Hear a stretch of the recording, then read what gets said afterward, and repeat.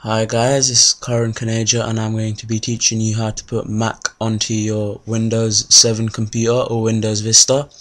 For this, you're going to have to have a processor which is either similar or higher spec than i3, i5 or i7. Please note that this virtualization does not support AMD, so if you have AMD, you cannot carry on with it because what it requires is to actually virtualize your computer uses VMware Workstation. So yeah, before we continue, if you could please go into the description and click on the SecurAble link.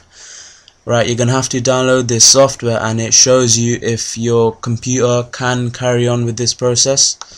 So if you download now, open it, yes, and if you open it and if you have two yeses for the hardware and hardware virtualization you can carry on with it.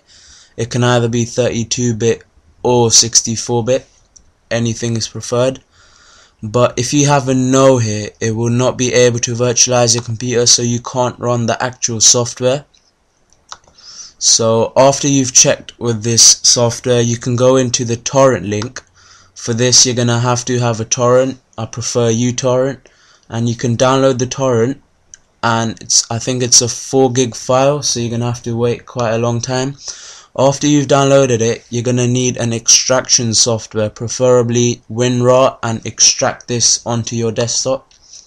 Right after you've extracted it Mac OS X Lion 10.7 will be on your desktop. And what this actually is it's it's pre-installed and it's not like the other version versions which you have to actually mess around with Right, after extraction, it's a 10.5 gig file, so you're going to have to have space for this as well. Right, after you've get, got it on your desktop, go into the VMware workstation and you're going to have to install the setup file. For this, the keys have been provided and when it does ask you for the keys, you can just copy any one from here. If one doesn't work, you can just try another one. And after you've installed it, you can go back onto the main page for this folder. Then you're gonna have to enable the patch for the Mac Lion to work on your thing on your motherboard. And you're gonna have to go to the Windows batch file right click and run as an administrator. Do not run this normally because it will not work. Click yes. And it should unlock your computer to run Mac on it.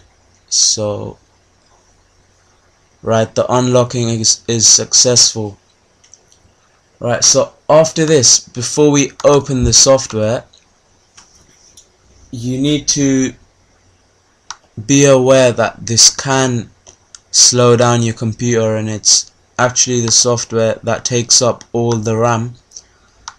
So click that and it's gonna be on your desktop. So there it is.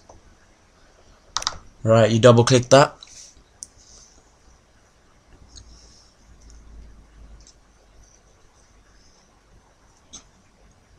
Takes a bit of time to open.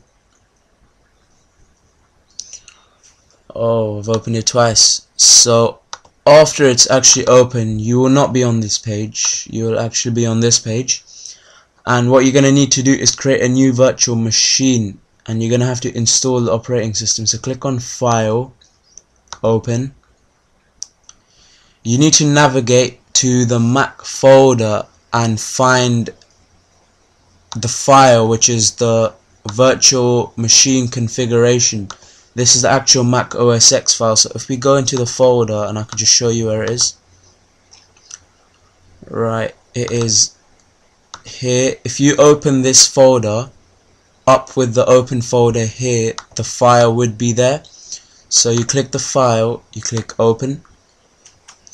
Right once you've opened the file you can actually see that it has been integrated with the software and then you can actually power on this virtual machine. Right if you're not on a strong enough processor I highly recommend you close all your other programs and then click virtual machine before you open this you can click edit virtual machine settings as well which you can configure how much memory you want to actually use with this. And you can see here that I have total four processes you can allocate how many you want to actually use. After you've configured what you want to use you can actually click power on this virtual machine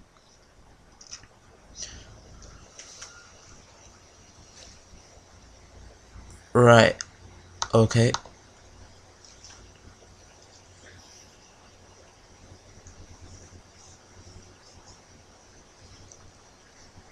You can even go full screen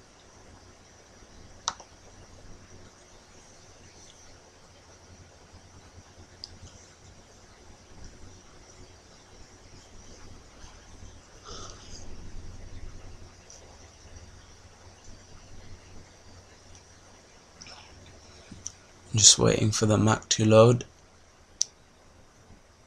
if you have any problems getting up to this stage, please leave me a comment or an inbox and I'll be more than happy to reply to your questions. I'm, get, I'm guessing here that the main problem is actually going to be the hardware configuration for your computer to actually run this software so if you need any advice or help on that I can tell you how to get around it.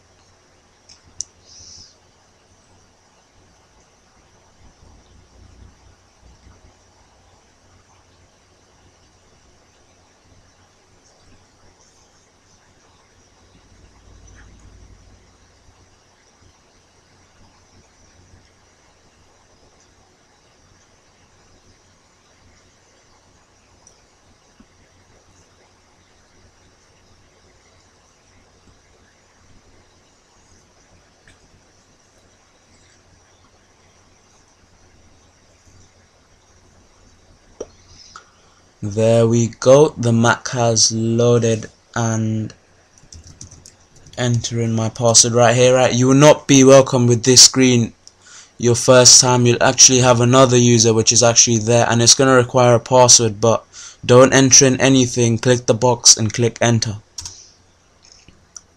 With this Mac you can actually use it to install Mac files but please note that after you've shut down the tester, the virtualization software, the install files will actually go. Well, I'm facing graphical issues here, but it should work.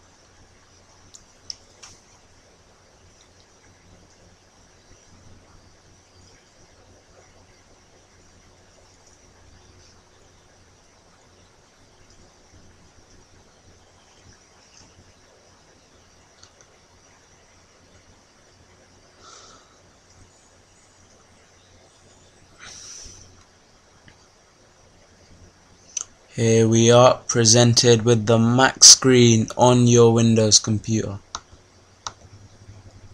And you can see that everything here is functional.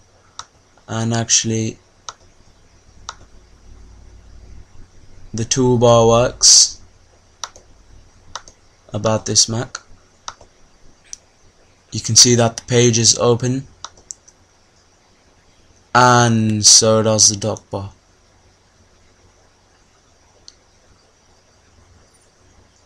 So here we are with Mac running on our Windows computer. Thanks a lot for watching and goodbye.